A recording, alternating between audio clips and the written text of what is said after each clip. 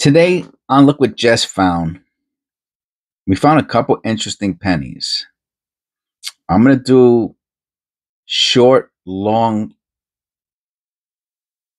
um, videos to post up, which I like doing.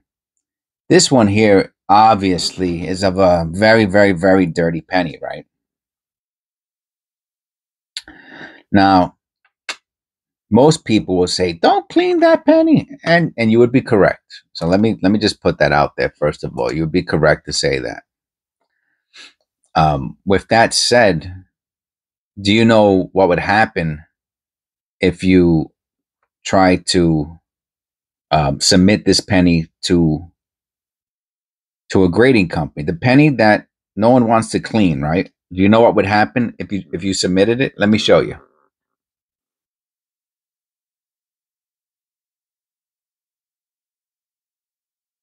That's what would happen.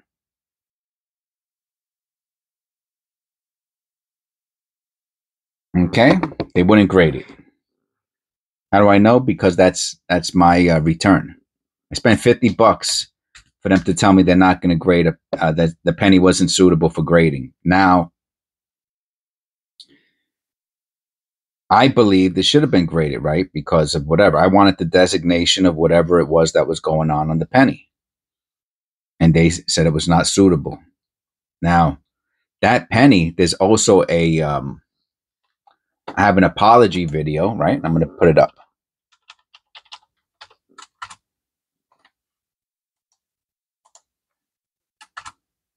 Here we go. Right? And this is the and this is the next video I did after that one. You can find these in the um, right? So not suitable, right? My penny, and then I did an apology. Why did I do an apology? Watch that video too. Because I cleaned the penny, and what I thought was um, a lamination error turned out to be paint. Right? So if I would have cleaned it first, I wouldn't have sent it in. Um, but I was so against cleaning coins that I sent it in that way, and that's the uh, response that I got was not suitable for uh, encapsulation, not suitable for circulate uh, certification, and that's what would happen if I sent this in. Same exact thing.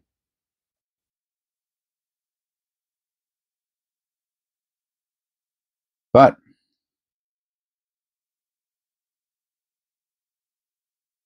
I don't know if you can see it better with the light on or not. Probably not. Oh yeah, there you go. Well, let me shut off the light. See how?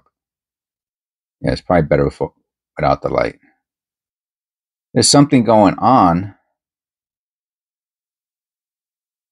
over here, and it looks like I don't know. I don't know what it is. It could be a die clash. Could be a strike through. It could be um, debris, right? Uh, dropped on debris, but you know, regardless, it's basically a worthless penny outside of the uh, three cents that it's worth. There it goes on the rim. You see that on the rim? What is that?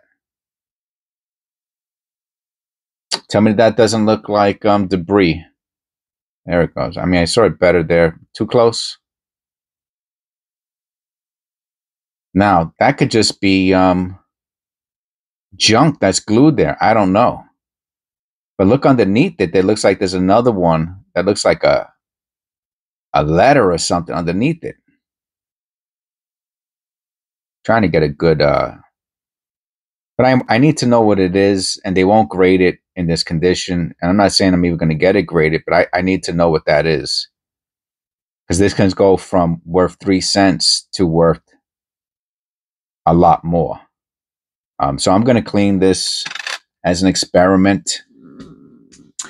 And um, I just want to show you what happens if you try to, to submit a penny that's uh, not suitable. So this, in, in, in, in probably 99% of the cases, there's no harm in cleaning. Now, polishing is something else. Remember, I'm talking about cleaning. I'm not talking about polishing. Right? Polishing 100% damages the surface, and you shouldn't do that. I do do polishing as an experiment, and I can see the damage, man. It really messes up a penny. Um, definitely don't want to do that. Definitely want to don't want to use. I use the toothbrush too. Yo, those lines are super visible when you when you clean a, a, a copper penny with a toothbrush. Super visible. Totally destroys the surface. Now, what some people do is they use um, Q-tips. Um, so I'm not actually sure what I'm going to do, except for I'm going to put this um, after today's videos. I'm going to put it into the jar with the uh, mineral spirits. I haven't had any bad problems with that. You shouldn't do it though unless you're a professional. All right, so please click like and subscribe. Let me know what you think this is in the comments below. I'm talking about right there. There's a little thingy, and below it, there's another thingy. We're going to find out, though. All right, God bless, and I'll see you in the next one.